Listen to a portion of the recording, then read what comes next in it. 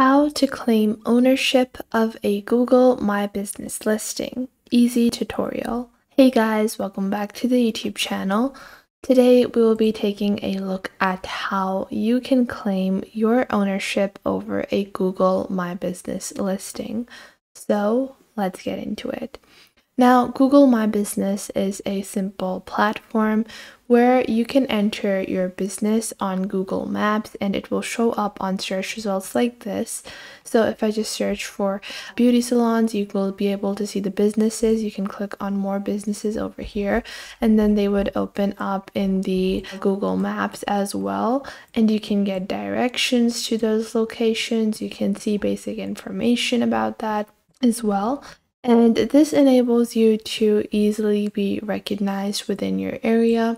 You can get your listing to denote your working hours, overall ratings, your reviews. You can display your contact information as well as some general images of your business. Now, let's say that you are about to create a Google listing and you find out someone has created a listing for you and that is a illegitimate or fake listing what do you do then? Let's say you actually run the salon called elon salon.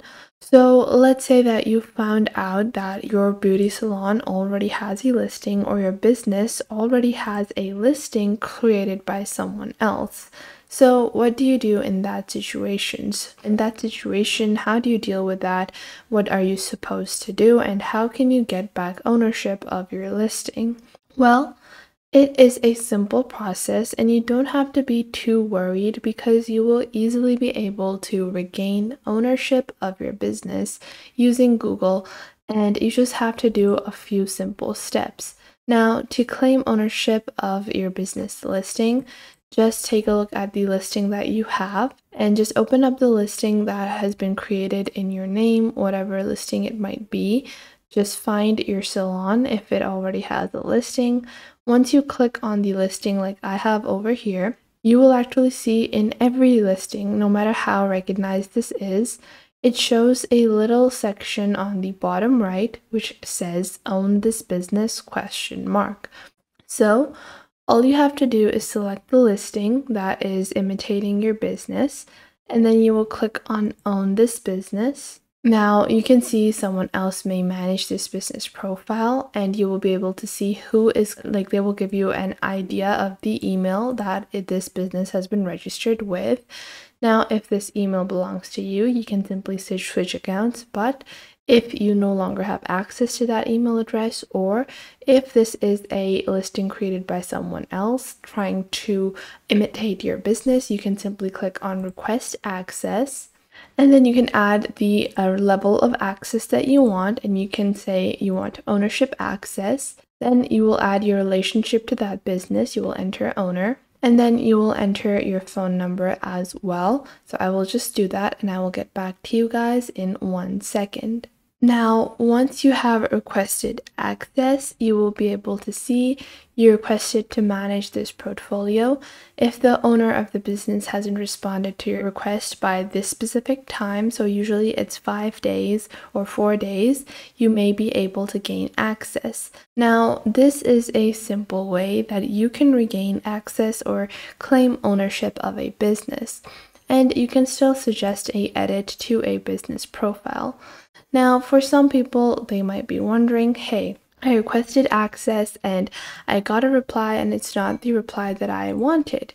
Well, then you can again apply for ownership once more and verify that this business belongs to you and you will be able to claim ownership of your business. So once you have claimed ownership of a business, now three scenarios can happen.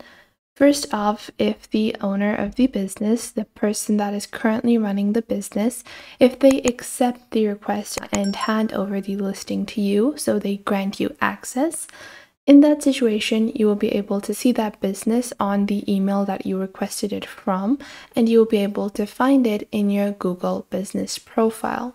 Now, the second scenario is that they reject your request. So, if they choose to reject your request to manage that business, then you have the option where you can actually go on ahead and appeal to that rejection. So you can appeal and make a case for your ownership of that business. And the third scenario is that if they choose to not respond, then Google has the opportunity to hand you over the access to that listing or hand you over the ownership of that listing. Now, in this way, you can search for any business listing that you might have or any business that you are running to check any kind of listings that are present. So if I just open up shoe stores over here, I can just zoom out and take a look at these shoe stores anywhere in the world and you can go on ahead and focus and zoom into any of the listings over here. And once you have zoomed into the listings, let's say that you own one of these shoe stores and you can simply go on ahead and click on the business that you own. And if the listing has been created in the past, then you can see over here that there are certain businesses where you will not be able to put in a request like Ardeen. Now, this is because the verification has been completed and usually large chain stores, like if I was to try to claim ownership of a Target or of Walmart, I would not be able to do that simply because these larger corporations have already established their businesses with their authentic own ownership available. So that is something to keep in mind that you only want to try to claim ownership of businesses that you own Simply because if you try to claim ownership of a store that is pre existing and already has verified identity, you might get your email, you know, you're going to get your request rejected, or you might not even have the option to appeal to that business or to just make sure that your email remains a link to that business as a manager, something so on and so forth. So in this way, you're just going to do the same thing. You can do this for any business and manage this business to reply to reviews, updates, info, and more. And I own or manage another business, manage now. Now you can see this is actually a business that might not have a current owner. So if I click on the business, if I click on own this business, I can click on manage now and I can enter my postcode address to get my ownership. So if a listing has only been generated simply by name and no one has already claimed ownership of the listing, then you can simply go on ahead and put in your own name and claim ownership. So that was it for today. I hope you guys found this video helpful and you are now able to get started with claiming your own listing on Google Maps or on Google My Business and you're now able to get your business identity back to you. So make sure to leave a like and subscribe to our YouTube channel and if you have any questions or queries leave them in the comment box down below and check out our other videos on how to create multiple Google My Business listings as well as how to set up your own Google My Business listing. And I will catch you guys in the next video.